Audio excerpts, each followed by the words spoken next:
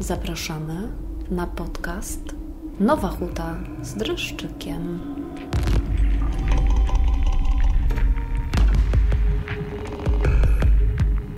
Duchy pod kościołem. Zastanawiające, że żyjąc w czasach, kiedy każdej działalności człowieka nierozerwalnie towarzyszy materialne, racjonalne spojrzenie na zjawiska otaczające świat, tak łatwo ulegamy pokusie penetracji świata nadprzyrodzonego. O tym, że na pętli tramwajowej w Mistrzejowicach straszy zaczęło być głośno w gronie empekowskiej braci gdzieś tak pod koniec ubiegłego roku. W kuluarach nowochódzkiej zajezdni powiadają, że wszystko zaczęło się ponoć od takiego zdarzenia. Pewnej nocy motorniczy jedynki wysadził na górce w Mistrzejowicach ostatnich pasażerów i ruszył pustym tramwajem na pętle, gdy nagle spostrzegł człowieka śpiącego na tylnym siedzeniu. Okazało się, że jest on kompletnie pijany. Kiedy nie pomogły nakazy, a także prośby o opuszczenie wozu, motorniczy, nie namyślając się, wyrzucił delikwenta. Nie interesując się jego dalszym losem, spokojnie odjechał. W tamtą noc nad miastem zalegała mgła, ograniczająca widoczność do parunastu metrów. Wyrzucony osobnik leżał bardzo blisko torów. Za jakiś czas, jak było do przewidzenia, nadjechała następna nocna jedynka czy szesnastka i doszło do nieszczęścia. Kierujący tramwajem nie zauważył we mgle leżącego blisko torów człowieka. Druga historia dotyczy także pijanego mężczyzny, który jakoby wpadł do otwartej i niezabezpieczonej przez budowlanych studzienki, gdzie przenocował do rana. Kiedy robotnicy przystąpili do pracy, spychacz pracujący przy niwelacji terenu przysypał studzienkę, a w niej człowieka. Od tamtej pory dusze owych mężczyzn wędrują nocami po pętli, szukając winnych. Dotarcie do człowieka, który na własnej skórze odczuł ponoć istnienie duchów w Mistrzejowicach, jednak nie było łatwe. A to z powodu, że pan Ludwik przebywa na urlopie, opiekując się żoną. Proszę się nie śmiać, zaznaczył Ludwik Kielar, gdy przedstawiam mu powód wizyty. Było to pod koniec grudnia. Jeździłem nocną szesnastką. Czterdzieści pięć minut po północy przyjechałem na pętlę w Mistrzejowicach, a że miałem pięć minut do odjazdu. Wyłączyłem przetwornicę i odpoczywałem w ciszy. Nagle usłyszałem dzwonek tramwaju, jakby stał tuż za moim wozem.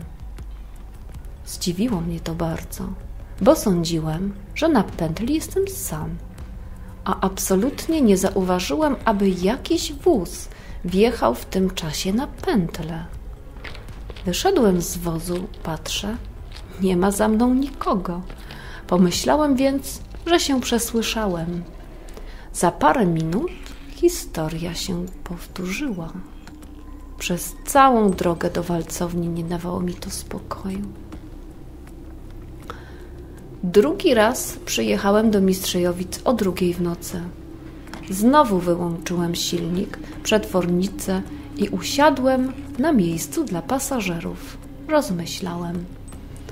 Nagle przed drzwiami na wysepce a była ona dość oświetlona, zobaczyłem człowieka wyciągającego do mnie rękę z papierosem, jakby prosił o ogień. Otworzyłem drzwi i nie było nikogo. Tym razem wystraszyłem się nie na żarty, Od tamtego czasu pracuję na innych liniach i staram się nie brać nocnych kursów.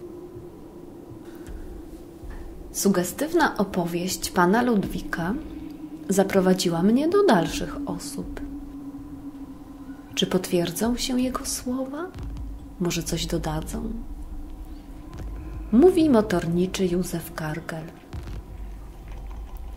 Dużo wcześniej słyszałem o tych dziwnych zjawiskach w Mistrzejowicach, ale zapisywałem to na karp fantazjowania kolegów.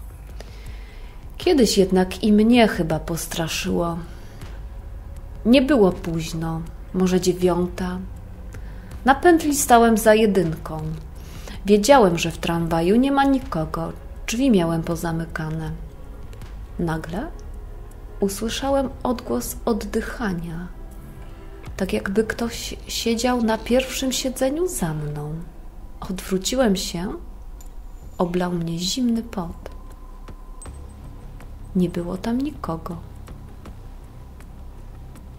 Motornicza Teresa Rupikowska twierdzi, że kto tego nie przeżył, nie uwierzy.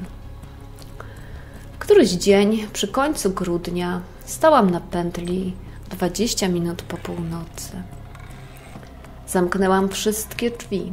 Sprawdziłam, czy wszystko przygotowane do odjazdu. Czekałam jedynie na odpowiedni czas. W pewnym momencie spojrzałam przez lusterko do tyłu i zobaczyłam, że ostatnie drzwi są otwarte. Ruszyłam i nie pamiętam kiedy zatrzymałam się na przystanku dla wsiadających. Później dowiedziałam się jeszcze o dwóch innych motorniczych, których duchy także nie oszczędziły.